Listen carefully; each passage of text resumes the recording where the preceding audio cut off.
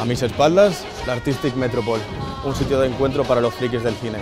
Una de las pocas salas de Madrid en las que poder ver cine independiente y de serie B.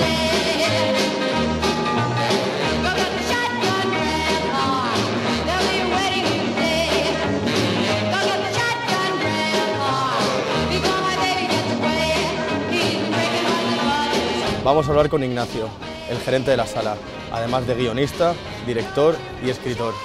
Todo un friki del cine. Vamos a ver qué nos puede contar.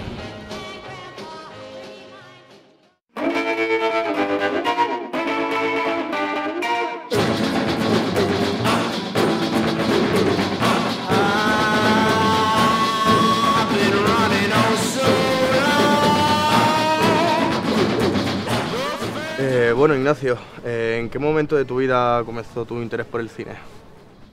Eh, no sé si lo recuerdo. Eh, bueno, eh, yo creo que a muy temprana edad, que es lo que se suele responder siempre, ¿no? No es algo que dices, no, es que con 25 años dije, venga, me voy a dedicar al cine.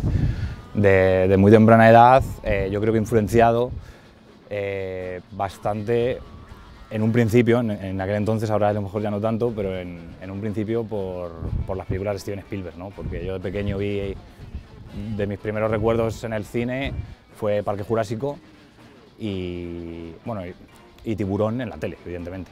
Y bueno, yo creo que las dos, eh, no es que me. Era muy pequeño, ya te digo, yo no dije me voy a dedicar al cine, pero dije, joder, yo quiero hacer eh, monstruos comiéndose la gente. ¿no? Y yo creo que eso fue el detonante. Luego ya va pasando el tiempo, vas, viéndote, vas enriqueciéndote más, viendo otras pelis, conociendo otros realizadores, eh, otros.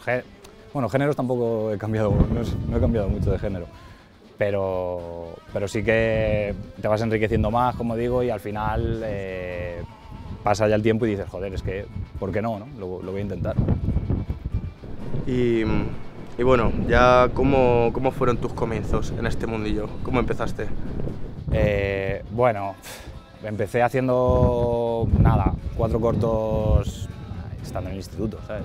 Eh, empecé haciendo cuatro cortos con la cámara que no llegaron a ningún sitio, pero bueno, ya de algún momento, en alguna, de alguna forma ya te, te, te sitúa, te hace situarte, porque luego ya te metes a estudiar y te empiezan a dar nociones de, posicionamiento de cámara, de puesta en escena y demás, y, tú ya tenías algo, ya, tenías, ya decías, joder, a ver, yo tengo que colocar aquí una cámara, darle a grabar y delante de ella tiene que estar pasando algo, ¿no?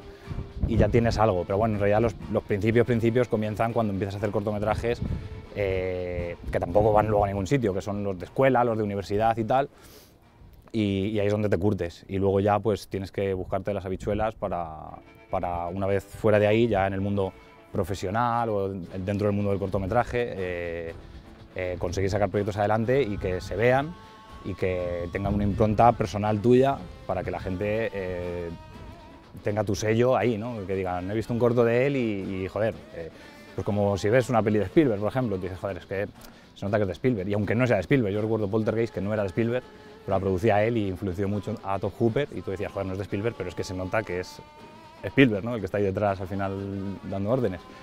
Y, y es, eh, fue así más o menos, fue así. Eh, te llega la oportunidad, eh, haces tu primer corto, te tiemblan las piernas y si tienes suerte pues te sale más y si no pues tienes que volver a empezar desde cero, como subir y si caes pues, vuelves a... Lo importante es no, no, no dejarlo. ¿sabes? ¿Qué proyectos tienes en mente así de, de cara a un futuro, a un futuro próximo? Hay algo, hay algo que no se puede decir, ahora mismo, bueno, no sé si puede, bueno, hay algo por ahí, hay un, un, proyecto de película que no se sabe si saldrá o no, nunca se sabe. Estamos esperando eh, eh, mi primera película que, que la, la, rodé, vamos, va a ser hace un año y, y, ahora pues va a empezar su recorrido por festivales y demás. Y, y hay que esperar a ver cómo funciona esta primera película. Eh, pero sí que tengo un cortometraje que ruedo ahora en dos meses, que me hace mucha ilusión, porque después de, hacer una, después de rodar una película, después de la increíble locura y barbaridad que es hacer una película, ya casi no te acuerdas de lo que era hacer un corto y volver al corto me, me, me hace mucha ilusión, aunque, aunque parezca que no, aunque parezca que digas, un realizador ha hecho una película, ya no va a hacer más cortos, si ha hecho una película, que va, a mí hacer cortos me encanta y, volver a hacer un corto además que me han invitado de un festival especial para hacerlo con unas condiciones y, lo he aceptado porque me, me gustó mucho. Y luego tengo otro cortometraje que rodé también, que forma parte de una antología de, de varios cortos, cada corto es un director y, todos unidos hacen como, una película antológica, una película se llama Dark Girls y, mi corto en, la película se llama Pesadilla. Y esto tampoco, de momento tampoco ha visto la luz, pero también, igual que Danny Night, se, se, planea que, este año se estrene. Eh, bueno, nos gustaría que nos recomendaras alguna película de estas, de estas que te da vergüenza reconocer, algún guilty pleasure.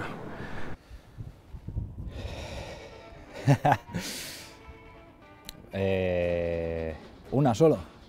O las que quieras. Eh, bueno, os puedo recomendar uno de mis mayores placeres culpables, como has dicho, es Holocausto Caníbal, que es una película que recomiendo siempre que puedo. Eh, si hay padres o gente mayor o o católicos o, musulmanes, pues más todavía. Eh, el Holocausto Caníbal también es una de las películas que me, influenciaron mucho. La vi de muy, de muy no pequeño, ya, chaval, yo que sé, 11, 12 años, y la vi por el morbo de decir, joder, es que todo el mundo hablaba de ella, eh, la portada está censurada, eh, qué demonios hay ahí dentro, y al final la, vi, la vi con miedo, ¿eh? la ves diciendo, no sabes lo que te vas a enfrentar y es jodida, pero luego la he visto muchas veces, no la típica película jodida que ves y dices, hostia, está guapa, es jodida, pero ya no la quiero ni volver a ver. El Holocausto de Aníbal se me quedó dentro. Tuve la grandiosa oportunidad de conocer al director, a Ruggiero de Dato, y estuve unos días con él en un festival, y un señor encantador. Y, yo en plan groupie con él, yo en plan groupie. Y, es una de, de, mis recomendaciones, y luego también a lo mejor Pin Flamingos también es, un placer culpable que siempre recomiendo ahí con transexuales comiendo mierda y demás. Esto es bonito.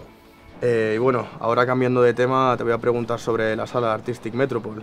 Eh, ¿De dónde surgió el proyecto? Bueno, Artistic Metropol yo llegué con la sala ya abierta.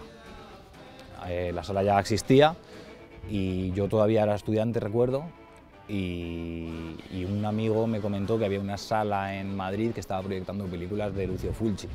Lucio Fulci, para ponerte en, situación, es un director italiano de los años 70-80 que hacía películas de zombies super gore.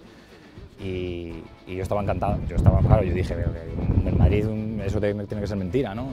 No, era verdad, y fui y, entonces acudía ya a la sala pues eh, muy vamos, iba cada semana prácticamente. Me hice amigo de los, de los que la llevaban y tal.